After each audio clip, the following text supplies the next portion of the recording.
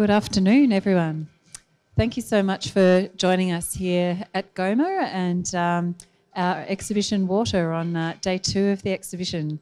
Uh, my name is Geraldine Kirrihi Barlow. Um, I'm the curator of the exhibition and also really um, thrilled to have my colleague Sophie Rose here who's worked with me from the uh, beginning of the development of the exhibition. And um, one of the projects that's been a really great delight for us uh, is uh, Michael Candy's um, Little Sunfish project. So um, many of you may have seen his uh, film within the um, first part of the gallery after you pass through the initial um, darker space, and it's in a section that we called kind of pulse and playing on a screen there. Um, so um, you'll get some sense of it if you haven't seen it from our, our conversation, but please check it out later otherwise.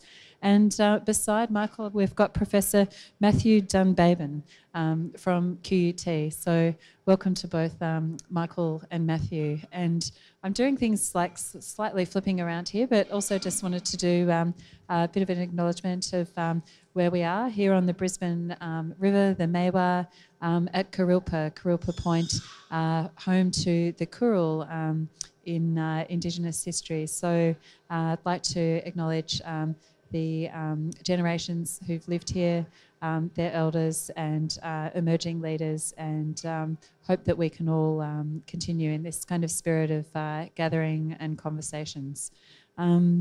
Um, so, Michael, if I can just um, ask you perhaps to uh, talk a little bit about sunfish, but perhaps in context with the history of your practice and how you came to use um, robotics, uh, one of these kind of focuses of our, our talk today.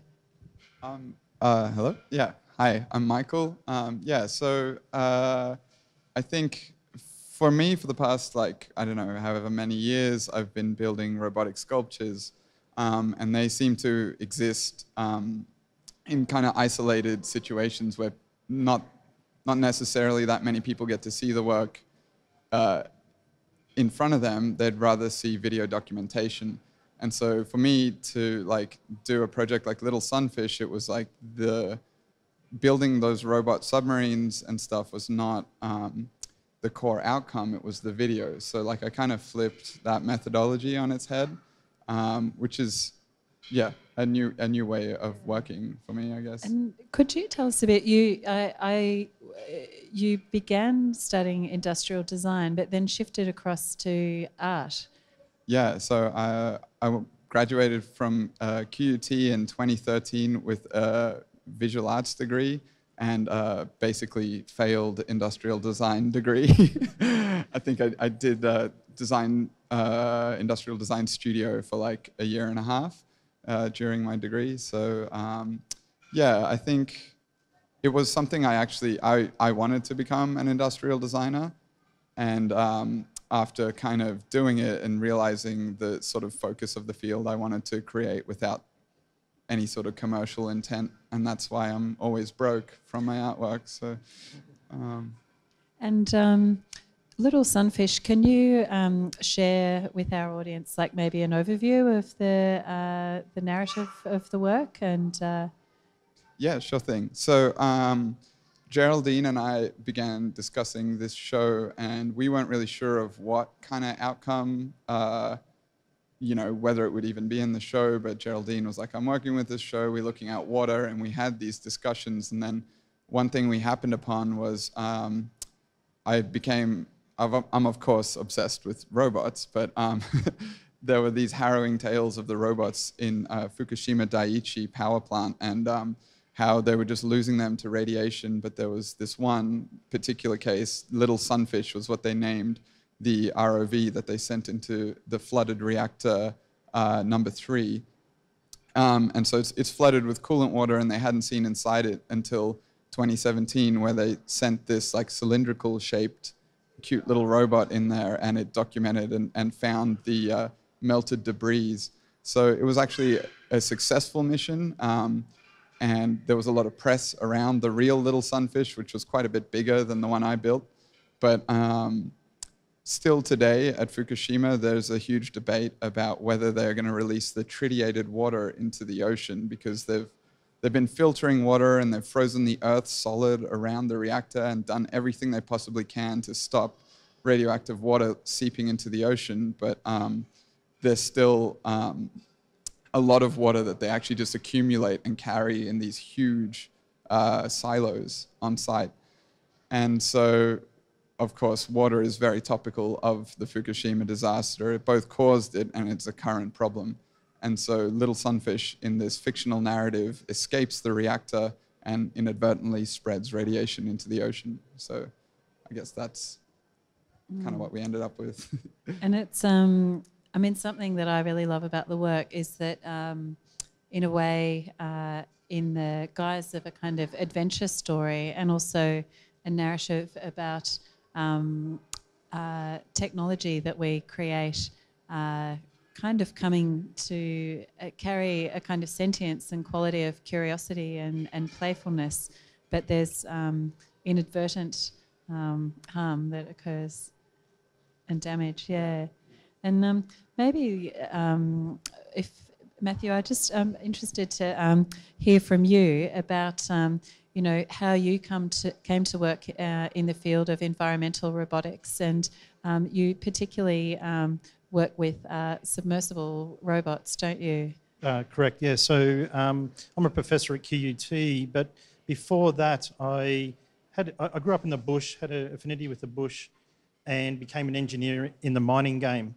And it got to a point in my mid 20s where we're doing mining robotics, and um, I was so efficient at moving dirt, as in 100 tonne a minute of dirt, that I had a conscience uh, change and I said, okay, this is pretty advanced technology, but can we actually do the reverse? Can we start to protect the environment, conserve the environment?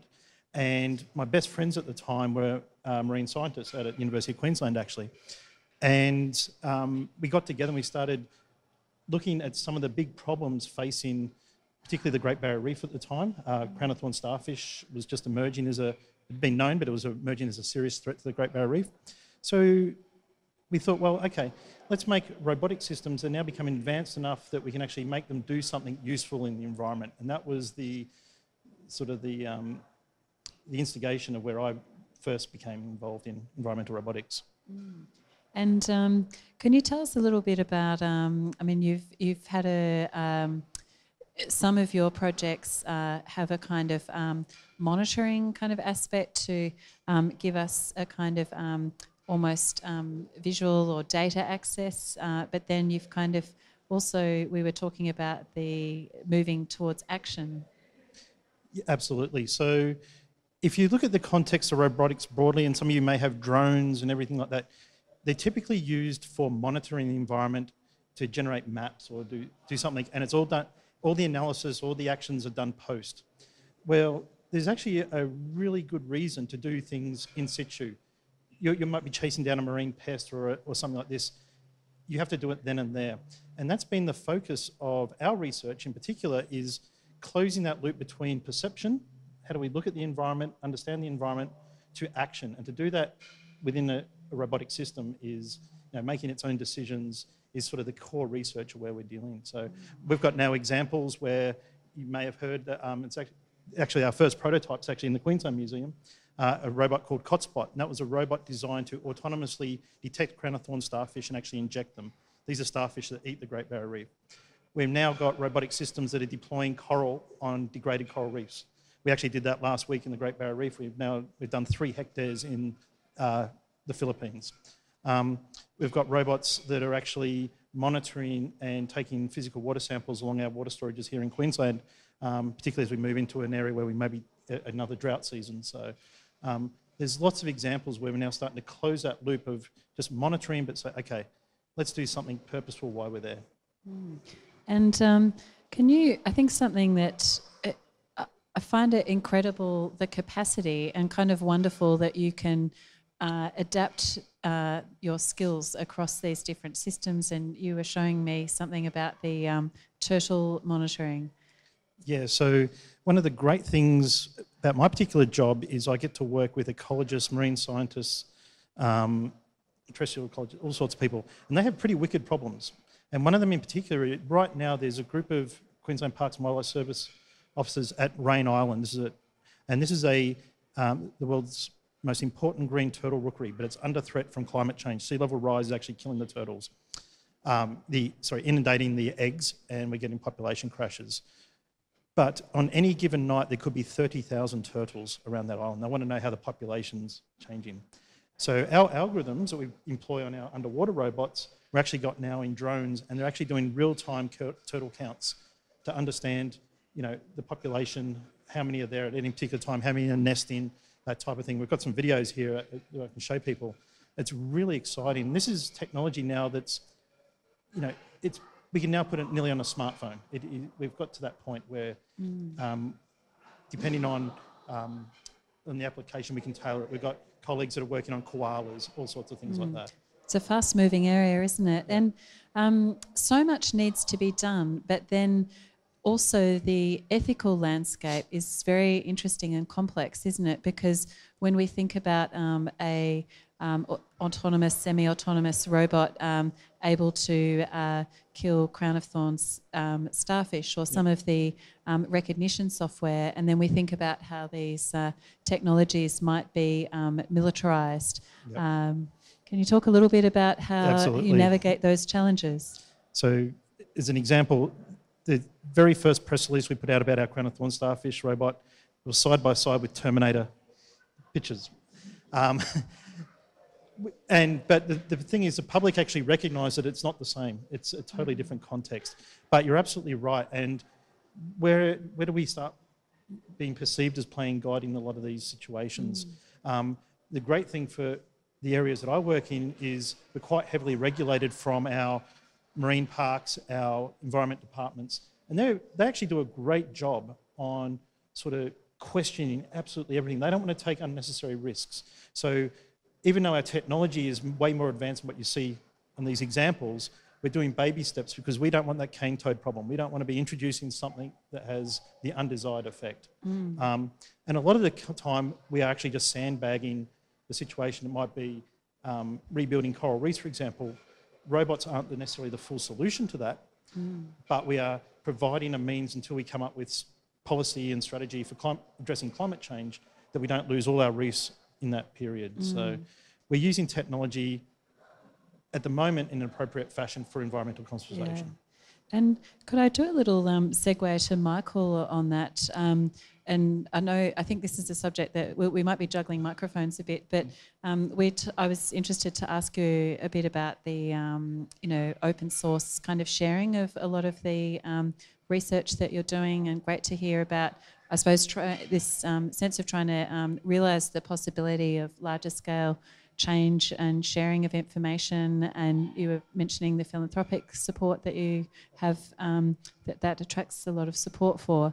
Um, and then, um, Michael, you use um, a lot of uh, open source uh, material in in your work, but often you're kind of rewiring it in interesting ways. And I'm just there might be many pathways on this, but I'd love if, love it if you could share with people the project um, you did. Some of your projects are quite kind of guerrilla, and the one where you um, uh, climbed the was it in Paris? Yeah. Oh, okay. um, yes, I, I, of course don't always work with video or um, strictly robotic sculpture, but yeah, there, there was a work in 2015 or yeah, I think it was 2015, maybe. Uh, but it was uh, during the Nuit debout protests in Paris, in Republic Square. I installed a device that would cause the statue to cry every time a bombing was reported in Syria. So it was kind of like flipping this like live data on its head and bringing it back to.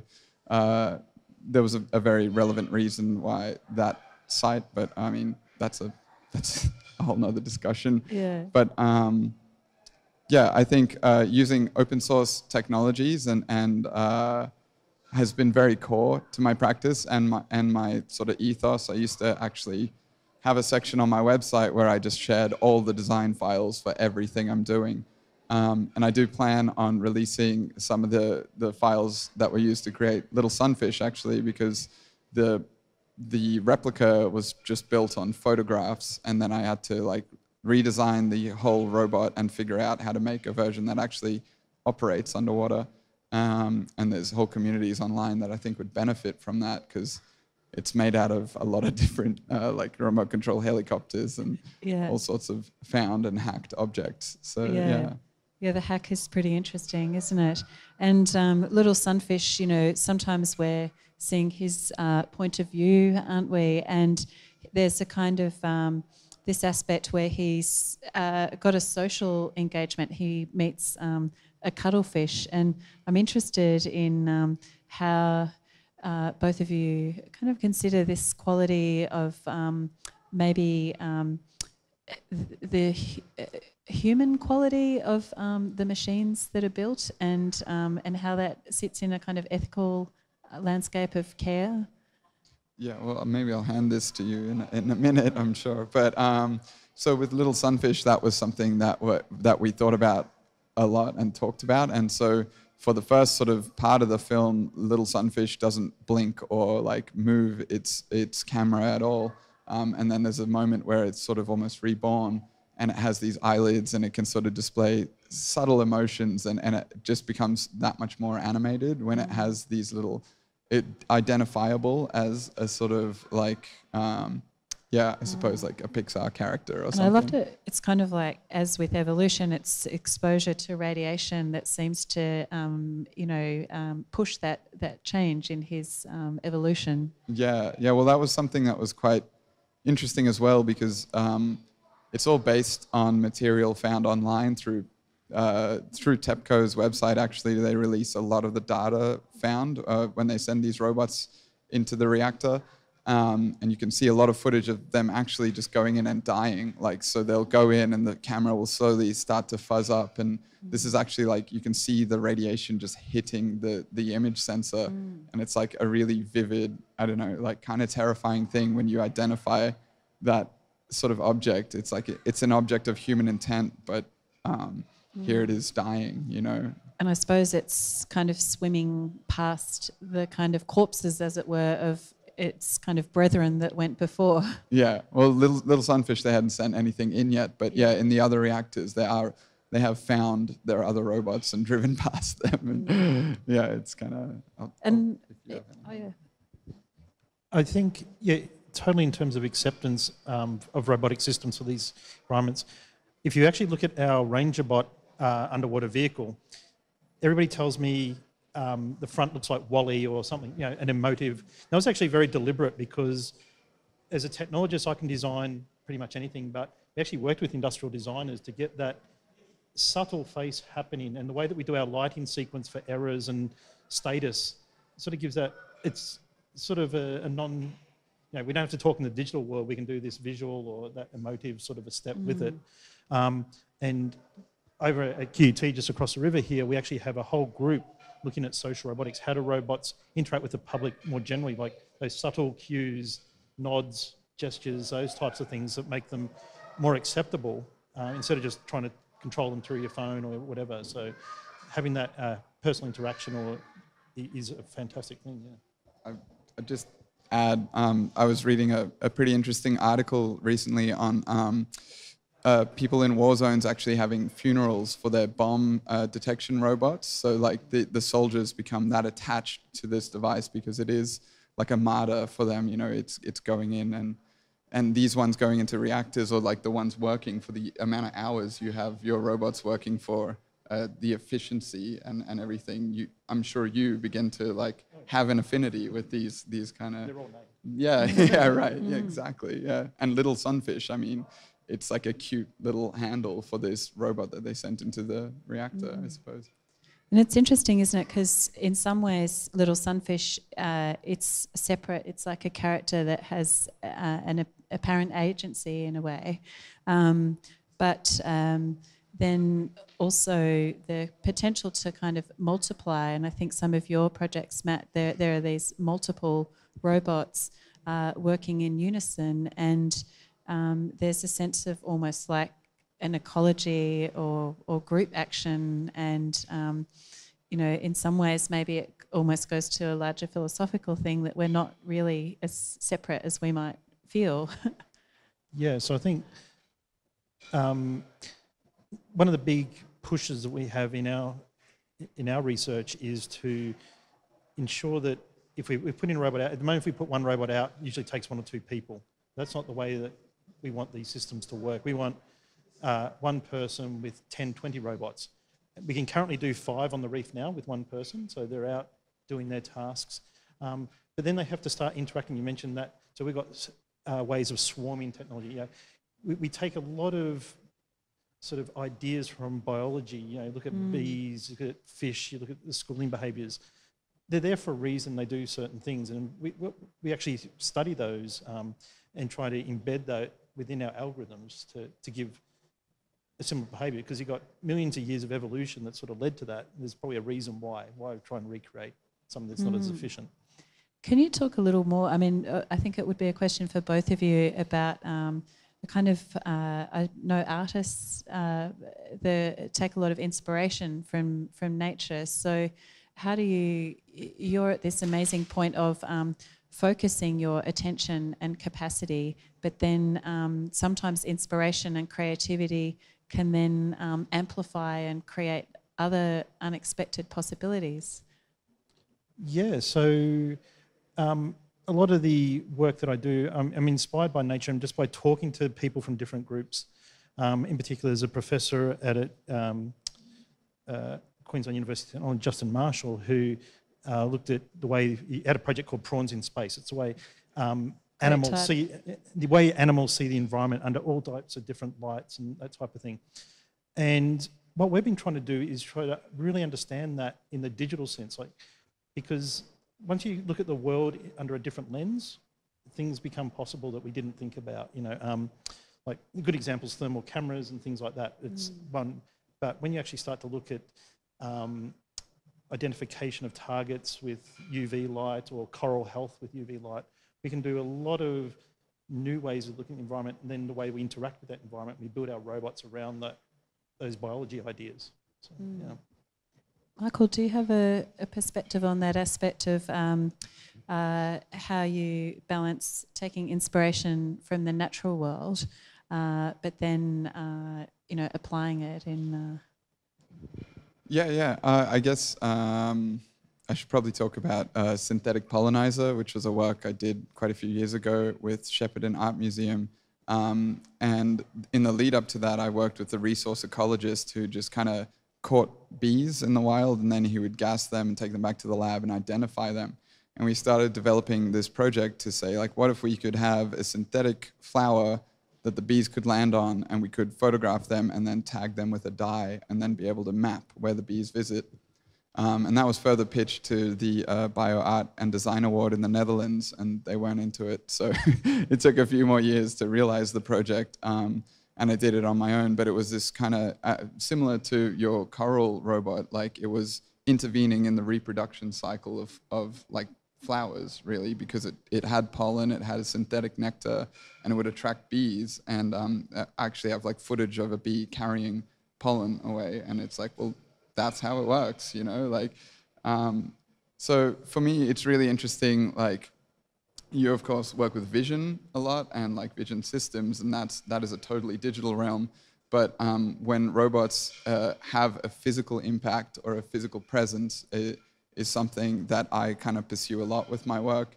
And again with the robots in fukushima there was very little um, digital stuff going on because to have microprocessors operating in radioactive environments is next to impossible. So a lot of them were like pneumatic powered or like little sunfish is very analog. Um, it was just direct drive motors and a camera you know like so um, yeah it's kind of I, don't know. It's it's interesting. Yeah. Mm, mm.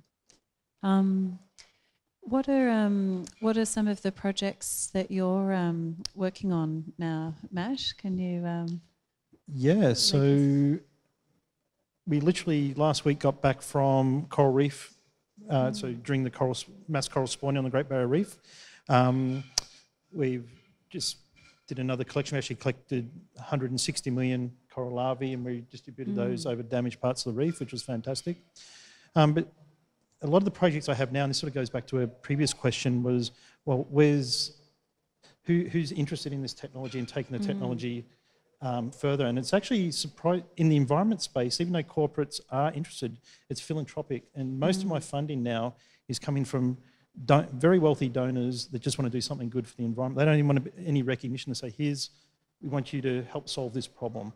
And a lot of that is now creating technologies, um, for example, coral reefs and that type of thing. We're actually looking at the physical form as well as the um, technology component to make them backpackable or take them to countries that need these types of services, uh, third world countries that you can't n- take crates of stuff.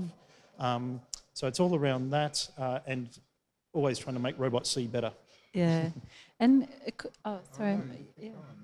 Um, oh, I was also interested in. Um, I mean, you're obviously kind of doing a lot through the um, uh, the university and your knowledge and capacity, but there's a teaching role as well, isn't there? And I know when I used to work at um, university, um, you know, young people are so uh, passionate about wanting to make a difference. And um, can you talk a bit about that? Absolutely. So um, it's actually great. I get a lot of unsolicited calls from people just wanting to work with me from all around the world, and they, they come. Um, it might be from actually a personal endeavour that they have a similar problem to what we're addressing. They want to take that technology and move over there. Um, but just here at QT, we got we, we offer so many final year projects. Students like we have vacation student projects, um, looking at all sorts of different ideas.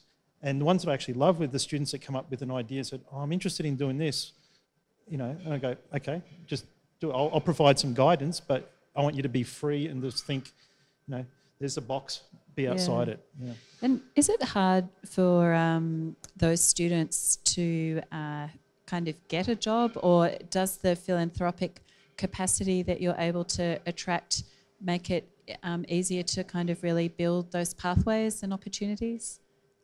I think there is definite opportunity. The biggest problem we have at the moment is the tech sector taking our very bright students. Um, you know, you've got Facebooks and Googles, they, they just snuffle up the capability that we have. But the ones that stay, um, they get, yeah, they, they get this funding, they get um, projects that we're supporting through collaboration with other universities. We don't necessarily do marine science, but we collaborate with multiple universities around the country and around the world that do marine science. So um, there's always work for those type of people. There's something interesting about um, kind of power structures in a way, isn't there, in terms of our aspirations to make a better world. And um, I often really love with art that it feels like you can move between systems. And I think, Michael, um, you you do that. I feel in your practice, you kind of um, create this kind of commentary, but you you do it in quite a guerrilla kind of way. yeah, yeah, because I can get away with it, right? Like, that's why I'm not an industrial designer. Um, but in a lot of ways, I am. You know, I still have a lot of the resources and skills gained from that short amount of time spent learning CAD and, and illustrating my ideas. But um, yeah, like your work is, is really cool to, to draw upon. I mean, I've known about, I was one of those unsolicited emails once upon a time. Uh, but uh, I had the great fortune, you might know Harold Tay at Singapore National Uni. Uh, he took me through his marine biology lab, and he just the way he thinks about things, like he would build the most simple ROVs that would just operate autonomous, autonomously with half a prop- propeller and no other rudder, and it would just oscillate it to like steer itself, and then rise to the surface to, of course, transmit the signal. And it's like uh, I don't know. There's a there's an ingenious uh, way that you you you guys work, and and of course like um, you would use a lot of like brushless motors in your um, ROVs, and like one of the little sunfish, the one that had to operate in saltwater, had to have these tiny brushless motors, like. So there's a lot of like industry and research that I respond to from what I can scratch up from these uh, these like people like Matthew. Yeah. And I wonder if you could both talk a little bit about um, the role of collaboration then, because Michael, you're you're kind of working as like often as a sole agent, but then um, you know you've done a range of um, residencies working with um, both artists and scientists. Um, I'm always I love talking to you because you're always reading a very wide range of things and. Um, so it kind of strikes me that you get those sparks of inspiration um, from others, but then also you've probably got more space to go off and do things solo, but then that um, it's precarious financially, isn't it? So, Of yeah. course. but I mean, uh, if you do what you love enough, you can you can make it work. And I think it's really inspiring that you you're able to do this environmental stuff, Matthew, and not get like snapped up by some kind of military interest or you know like I um I, I'm sure you know like PixyCam is like an Arduino interfaceable and I bought one a, year or so ago and I remember like I bought it from the US it's just a vision system that you kind of build robots with. And uh, I had to like on the website fill out this form that just said I'm not going to supply this to anyone in the Middle East or North Korea. And it was just like so ridiculous because like like you said it's like you could do this with a cell phone like trying to limit this technology is just not really going to do anything. But um yeah maybe you, maybe you have something on that Well, that's actually, uh, uh, in response to that, it's a big problem that we have at the moment. Our robotic systems are now being listed as export controlled. So the more and more intelligence we put in, the more and more restrictions the government's putting on us. Up until January this year, we could fly under the radar legally, but we, we were, as of January this year, we've got a lot more restrictions. But anyway, but going back to collaboration, um, something that I'm very keen on, I work uh, quite a lot with our creative industry department over at QT. Um, and it's around generating displays that educate as well as provide some sort of entertainment. So just last, we have an event called Robotronica at QUT every two years. Um, if, if you've been, um, we get about 18,000 people come and do all sorts of things. We have a we had a display there and also at World Science Festival here, and it was on educating um, around the impact of waterway litter. So I worked with the creative industries people and we created a game. It's actually a physical game where they designed robotic boats, very nice, aesthetically pleasing, functional boats from an artistic perspective. We put some intelligence in them. And as they drove around in the pool, we picked up initially different colour balls, and each colour ball represented a, a uh, type of litter. And then our, their interactive designers within the creative industry developed an app. So as they were collecting these balls, they got, oh, you have saved three turtles, you've done this. And it's actually educating people. And I think it's a really inspiring collaboration to see um, it's not just a, a, a circuits and code thing, it's actually around that whole, you know, uh, artistic psychology around how do you deliver, educate, uh, bring people in. I think that's really a really powerful thing. So, yeah. Yeah, I'm always really interested in, like, I feel like my job, sometimes people feel it's incredibly creative, but then you've got all this time of, like, you know, looking at um, spreadsheets and, um, you know, getting things in alphabetical order. But um, it's the balance between um, the kind of moments of, uh, you know, fun and unexpectedness, um, but then kind of needing all the order and, um, and rhythm in a way. Uh, and uh, yeah. And um, I wonder what, do you guys have any questions for each other? Yeah. No. no, no, I- yeah, yeah, I yeah. I asked all my questions. Yeah. I might um, also open up to the um, audience to if any of you have uh, any questions you'd like to ask Michael or Matt. No? All good? Oh, yeah.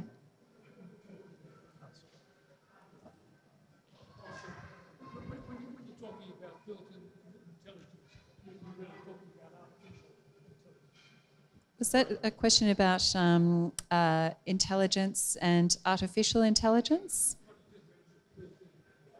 Built-in intelligence, yeah. So, um, yeah, so we work on that precarious nexus of artificial intelligence.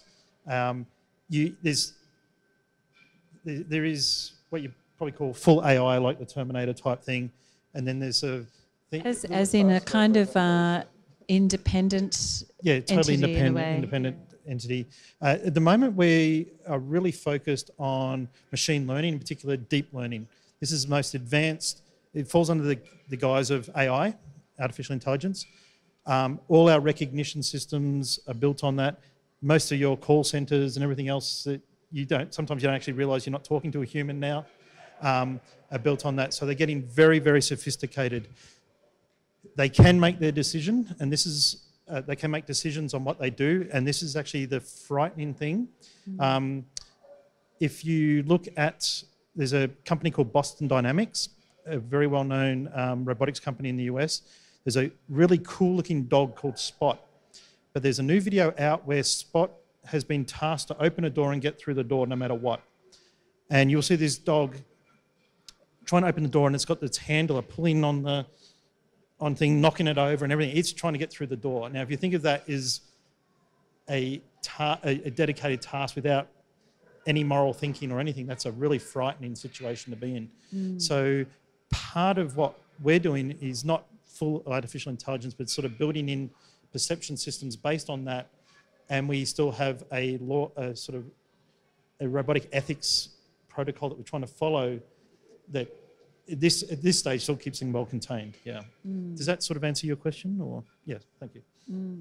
And Michael, I feel like you, you're you're also a very interesting mind on the kind of ethics robotics uh, front. Uh, Yeah, well, I, I don't know. I pretty much straight up don't trust digital technologies, and like I can see with machine learning, like that is a fascinating, and you you can have much more efficient, I don't know, production lines or like whatever your task is, it can become profoundly more efficient uh, than a human could ever do it, um, which in some cases is good. But yeah, uh, general. I like that you use Terminator immediately as your description of AI because like opening the door no matter what can you know you can come up with some pretty awful uh, solutions to that problem um, yeah so I, I don't know there's this kind of acceleration as well with with uh, digital technology particularly now um, there was a time where people talked a lot about the singularity but it's less of a thing now. I think it's just this is yeah of course. It, it's on its way. But i mean um,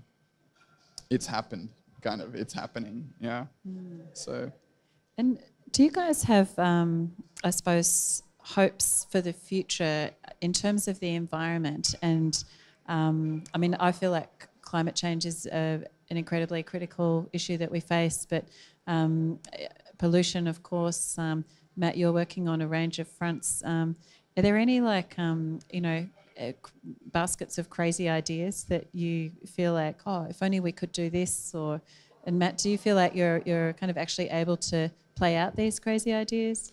I think there's lots of crazy ideas around the world, and um, I think that's where the innovation is going to come. Um, you know, I've seen ideas for yeah water security um, using robotic systems to deploy nets and films to try and stop evaporation and recover them. That's like not so far out there, but um, robots swimming around the ocean to clean up microplastics.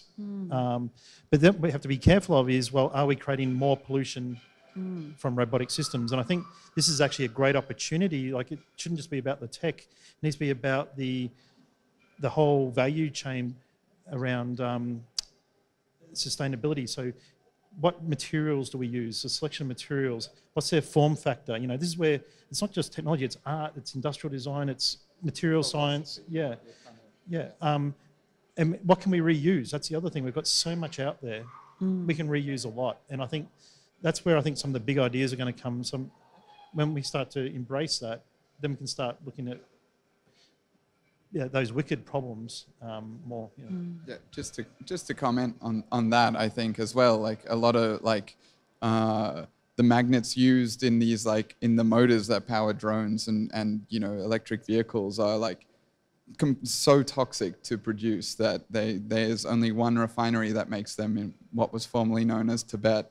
And uh, there's a place in the US gearing up to make them now, but that'll be in a few years, and they'll probably be prohibitively expensive because of all the climate regulations that will be placed on that refinery. Um, and the batteries as well, the lithium ion batteries have to be like processed in an open field. Like there's, and they don't last forever, you know. And all these Teslas we see, they're coal powered. Like no one really makes these simple connections. But I mean, maybe you have your own solar farm at home, but that's probably going into lithium batteries, which aren't going to last forever as well. So, like, yeah, thinking about the materials used to produce your work is a definite, um, a, a good philosophy to have moving forward. I think, yeah. Yeah, excellent. Um, I think uh, you know we've had these dilemmas in putting on the show, and um, you know even um, the sculpture here by um, Fischli and Weiss, the snowman in his uh, refrigerator. Um, of course, um, you know power is used to keep him all nice and frosty. Uh, so you know we're contributing to that accelerated power use to try and make a point, but uh, it's a dilemma often uh, how we, um, you know, is how important is uh, consciousness uh, versus any one particular action, and um, how do we really um, move and motivate change? Um, how do we do this at scale? Um, a lot of interesting challenges to face, but I think to be working on it together and um, having these kind of sparks of uh, conversation and um, the problem solving that I think we saw you carry out with uh, Little Sunfish is uh, really critical. So, if I can um, thank you for the work that you're doing and that you've shared with us.